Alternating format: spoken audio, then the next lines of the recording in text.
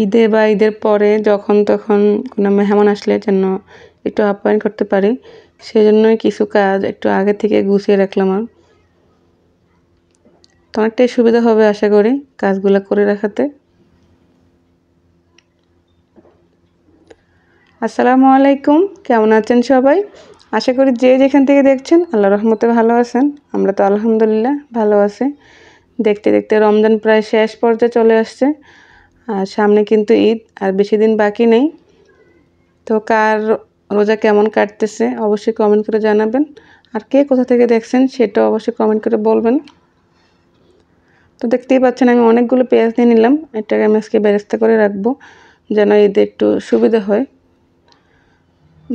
নিজেদের জন্য তো করবই, কিছু মেহমানদের যদি এক্সট্রা চলে আসে বা হঠাৎ করে কেউ আসলো, তো এগুলো গুছিয়ে রাখলে একটু সুবিধা হবে আর কি আমার জন্য। আর যেহেতু এখানে আমাকে একাই সব কিছু করতে হয়, তো সেজন্য সব কিছু আগে থেকে প্রিপারেশন নিয়ে নিলাম। আসলে প্রিপারেশনটা যার যার মতো যে করে আর কি, যার যেরকম সামর্থ্য, আমি তো যা পারি তাই করি, যতটুকু আমার দ্বারা সম্ভব। তা আমি পেঁয়াজগুলো আমি কেটে নিলাম চিকন চিকন করে। পেঁয়াজটা আমি একটু টিস্যু পেপার দিয়ে মুছে নিতে পারেন, না হলে এক ঘণ্টার জন্য রৌদ্র দিলেও কিন্তু ভালো। পেঁয়াজ বেরেস্তাটা তাড়াতাড়ি হয় আর ক্রিস্পি থাকে। তা আমি রৌদ্র শুকাতেও পারি, আবার টিস্যু দিয়ে পানিটা সোক করে নিলাম আগে। একটু ঝরঝর টাইপের হয়ে গেছে, পানিটা একটু শুকিয়ে গেছে। এখানে আমি ছেঁকে নেব বেরেস্তাটা, যে টিস্যু দিয়ে দিলাম, যেন তেলটা সোক করে নেয়। প্যানে দিয়ে দিলাম অনেকগুলো তেল, পেঁয়াজ বেরেস্তা একটু তেল বেশিই লাগবে। আর এটাকে মিডিয়াম আছে ভাজবো। আর অনবরত নাড়বো এটাকে, যেন এক সাইড হবে আর এক সাইড হবে না। তাহলে কিন্তু কালো মিলিয়ে মিলিয়ে যাবে আর কি। সাইড যেগুলো ওগুলো কালো হয়ে যাবে। তো একটু কেয়ারফুল করে এগুলো ভাজতে হবে। একটু বেশ একটু উনিশ বিশ হলে কিন্তু কালো চেহারাটা কালো হয়ে যায়। দেখতে ভালো লাগে না। একটু লাইট কালার হলেই নামিয়ে নেব। চুলা থেকে নামানোর পরে কিন্তু আর একটু ডার্ক কালার হয়ে যায় এটা।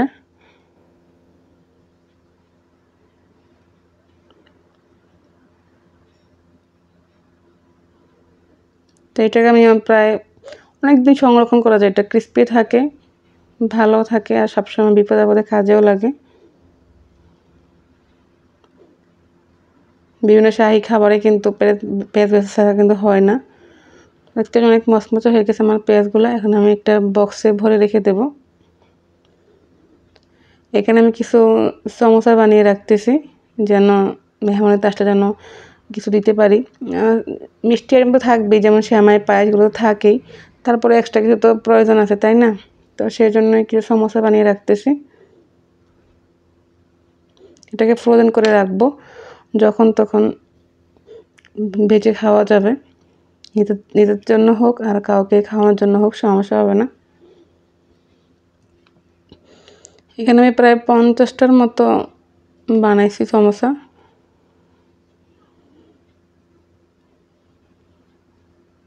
আসলে এভাবে আপনারা করে রাখতে পারেন যে যেটা পারে, যার দ্বারা যতটুকু সম্ভব।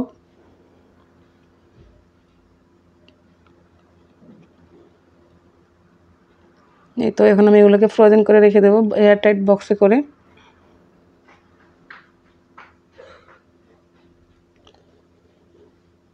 এখন আমি একটা ঝাল পোল, ঝাল পুলি যেটাকে বলে ওটা বানিয়ে রাখব। হলো শীতটা কিনে আনা, এটা আমি বাসায় রেডি করি নেই। বা শীত যেহেতু কিনে, কিনতে পাওয়া যায় বা ভিতরের পোটটা রেডি করে আমি এটাকে বানিয়ে নিচ্ছি এখন।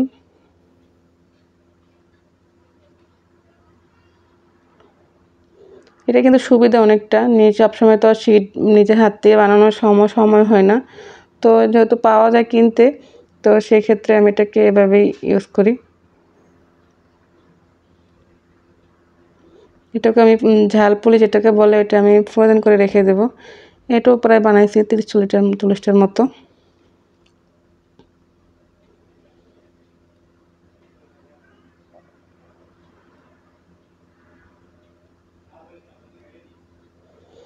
এই তো আমার জাহাল পুলিগুলো বানানো হয়ে গেছে। এখন আমি এগুলো এয়ারটাইট বক্সে করে ডিপ ফ্রিজে রেখে দেব। আসলে ভিতরে স্টাফিংটা যার যার পছন্দ মতো, আমি চিকেন দিয়ে করছি। কিছু পিঠাও বানিয়ে রাখব আজকে। ডিমের পিঠা যেটা অনেক দিন সংরক্ষণ করে রাখা যায়, আর ক্রিস্পিও থাকে। আমার বাচ্চারাও যেহেতু পছন্দ করে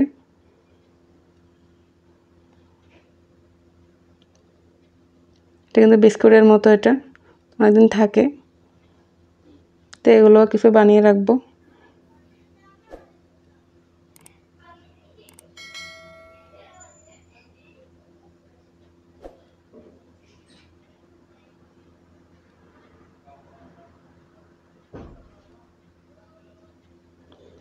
আমি এগুলো কাটার দিয়ে কাটতেছি।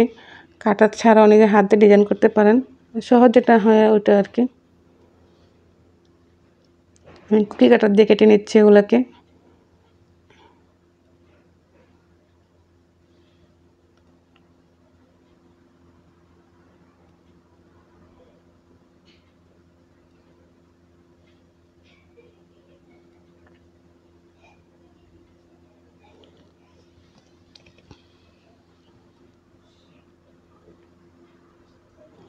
আমার সিম্পল এই প্রিপারেশন বলতে পারেন।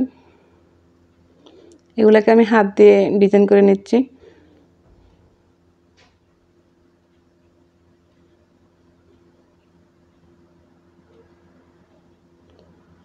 এটা আমার ডিজাইন করে পিঠাগুলো বানানো হয়ে গেছে। এখন কিছু আমি বাদাম গ্রাইন্ড করে রাখব, একটু আড়া ভাঙা করে রাখব আর কি।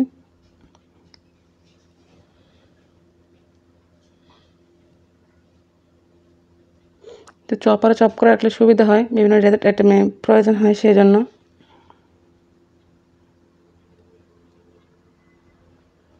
এগুলো করে বক্সে করে ফ্রিজে রেখে দেব।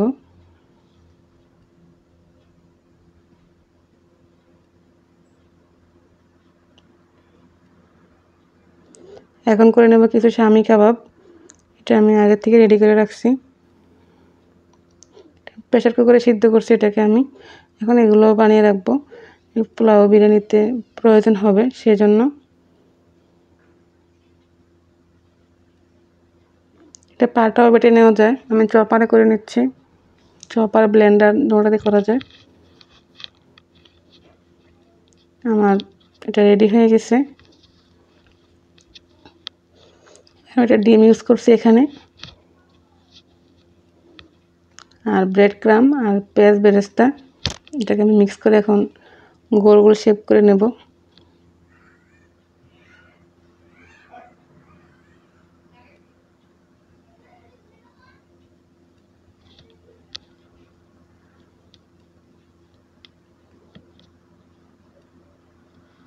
তো এগুলো বানানো হয়ে গেছে আমার প্রায়। এটাকেও আমি ফ্রোজেন করে ফ্রিজে রেখে দেবো।